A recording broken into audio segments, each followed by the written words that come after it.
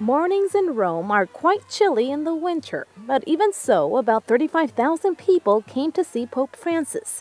Despite the cold weather, families brought their children so they could get a glimpse of the Pope. As usual, he made sure the kids were warm, and he even tried to comfort a little girl who wasn't too happy. During his catechesis, he focused on baptism. He said whoever receives the sacrament is called to be a missionary and disciple at all stages in life and that includes even bishops and the Pope himself.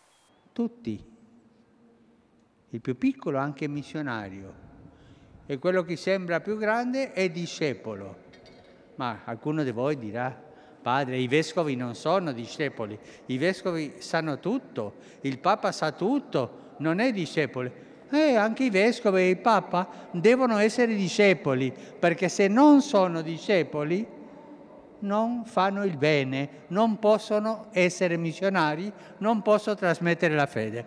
He explained that being baptized is more than just a ceremony. It's a moment that marks one's journey as a member of the body of Christ. And to be saved, he explained, one needs God. Nessuno si salva da solo. Siamo comunità dei credenti siamo popolo di Dio e in questa comunità sperimentiamo la bellezza di condividere l'esperienza di un amore che ci precede tutti, ma che nello stesso tempo ci chiede di essere canali della grazia gli uni per gli altri, malgrado i nostri limiti e i nostri peccati. And as an example of why it's important to receive the sacrament of baptism, he shared the story of Japanese Catholics who were persecuted in the 17th century.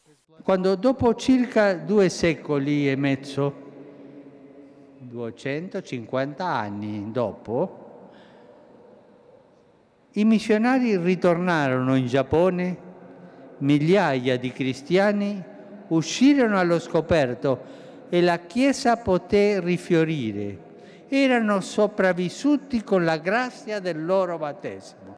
And just like he mentioned when he baptized a group of newborns in the Sistine Chapel, he said faith is the most powerful inheritance parents can give.